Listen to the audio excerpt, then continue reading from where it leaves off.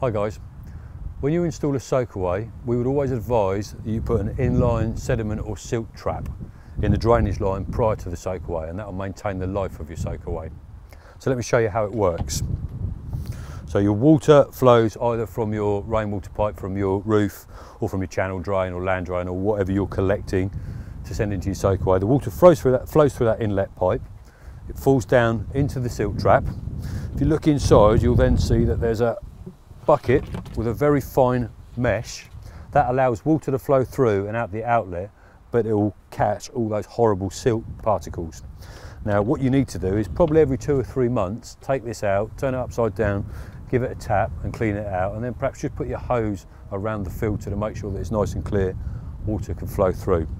Like I say, you'll be surprised how quickly that does fill up, but if you do that every two or three months, that'll make a massive difference to the efficiency of your soakaway. So do that and you'll have a, a long lasting soakaway system. Hope that all makes sense. Thanks very much for watching and hopefully we'll see you again soon.